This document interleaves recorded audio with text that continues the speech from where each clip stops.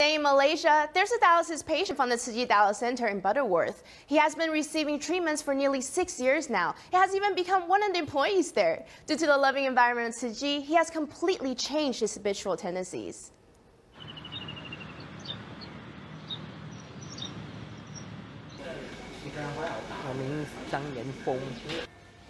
My name is Chong Guan Hong, and I'm 40 years old this year. I'm currently working at the Chi Dialysis Center.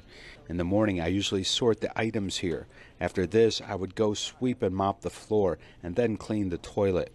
Before I go downstairs, I would go help other dialysis patients. Chong seems to look healthy and strong, but in fact, he has been undergoing dialysis treatments for nearly six years. It was too late since I had been diagnosed with diabetes. I spent all my savings seeking traditional Chinese medicine treatment, but I felt helpless because it didn't help to improve my health. Without the assistance of this center, I wouldn't be able to survive. In 2015, Chong officially became an employee of the dialysis center thanks to the help of the medical team and volunteers. He's in charge of general affairs and he's always dedicated to his work. He helps out the Dialysis Center with gratitude. After he came here, he started to listen to Dharma Master Cheng Buddhist teachings every day while receiving dialysis. He will even share the Master's life story with other dialysis patients.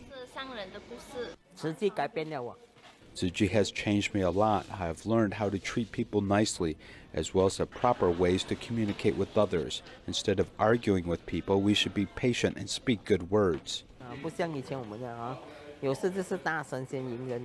now Chong takes action to serve other less fortunate people, making his life more meaningful and valuable.